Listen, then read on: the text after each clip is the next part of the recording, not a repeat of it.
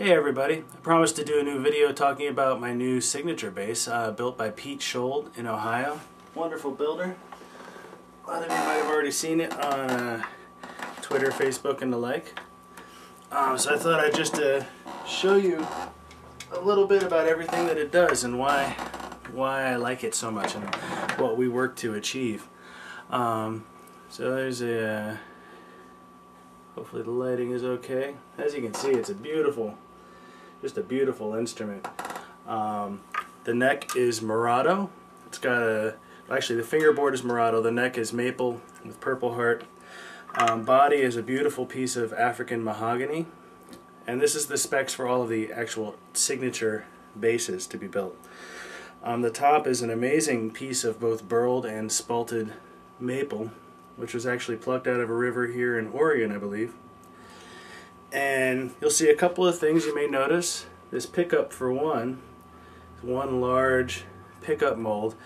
Um, I'm a ramp player. I usually have a strip of wood in between my pickups that acts as a ramp so I can play and have even playing surface on my right hand so my right hand is always comfortable. And we developed the idea to, um, instead of having three separate, you know, pickup, wood, pickup, just do one oversized mold. There's actually two pickups in here um, both of them are overwound a bit to give a bit of a darker tone. One of my things with six-string basses is that I've had a hard time finding a six-string bass that sounded both great in the bass range, nice low, thick bass, but also um, projected well without becoming glassy on top. And that was one thing we worked hard to achieve.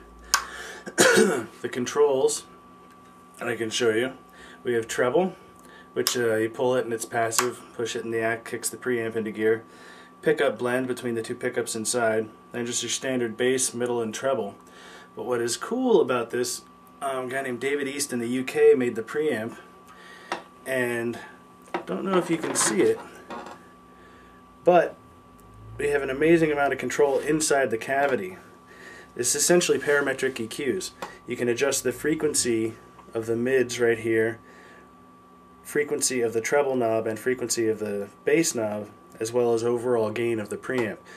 So you can actually tell the preamp which frequencies you want to be adjusting with those knobs. So it's, it's an amazingly flexible um, bass tonally. Um, I figured I'd show you a little bit about the bass. Just going to play it flat. Actually start passive so you can hear just the sound.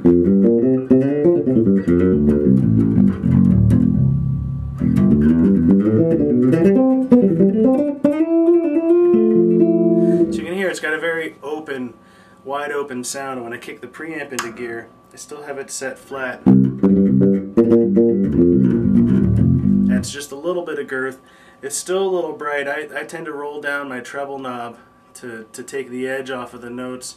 Um, but the thing that I love that we were able to achieve is the fact that even when I turn my treble all the way off,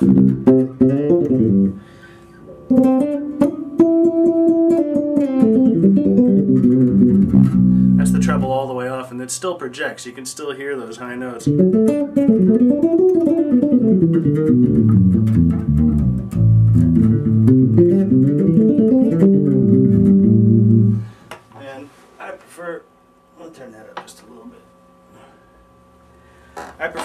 Introduce a little bit of bass and also this mid frequency, which you can, you can tell is pretty dramatic. I've kind of dialed in that kind of gets boxy if you if you push it too hard, but I find if you bump it up just a little bit, it gives you that kind of.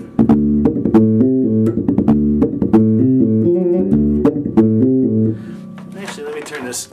Sorry for the. Uh, low budget recording setup here. I'll turn this camera down so you can actually see the bass.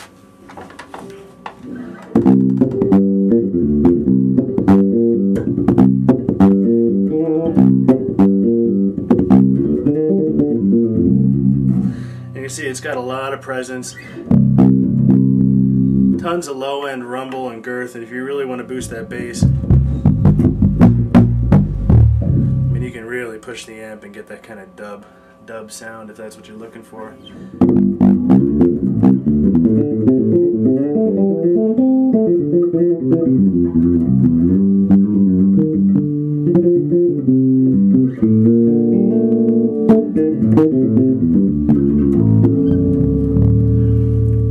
And now even with my treble all the way off,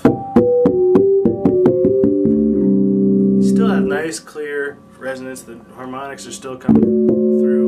And again, I could adjust that frequency so I could make it take the edge off even more. Um, or add a little bit of edge for slap, you know, if I wanted to slap. I don't really slap, so. So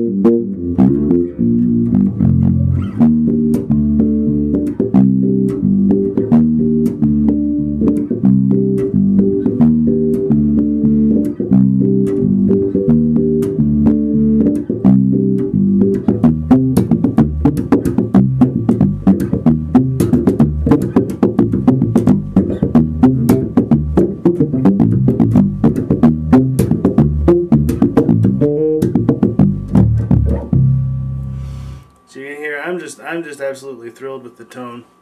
Another thing we worked hard to achieve was this extra deep cutaway there. Um, hopefully you can see that. My camera angle is kind of weird. I can't tell, but it makes for completely unhindered access up in the top range, which is something I've always struggled with.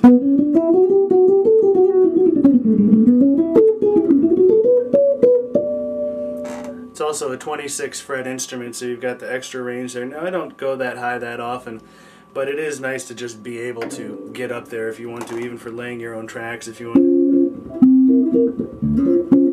you know, you just lay a little quarter tr chordal track to play to.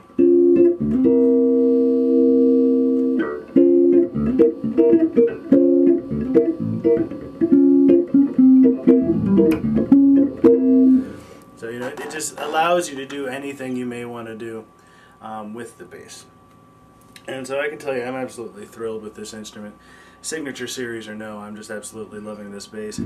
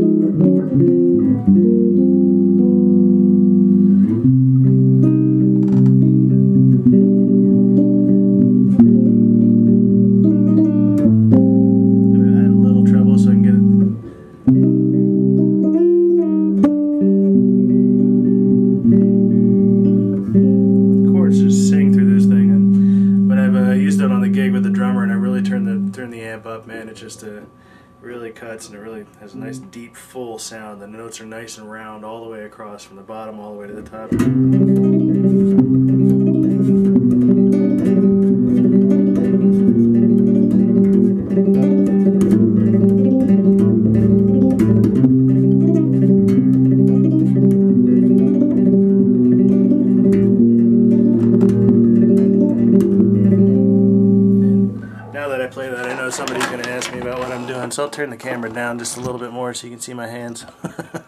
I'm doing open, hammer, finger pluck, finger pluck. Almost like a lot of a Victor Wooten type of thing, but finger stuff.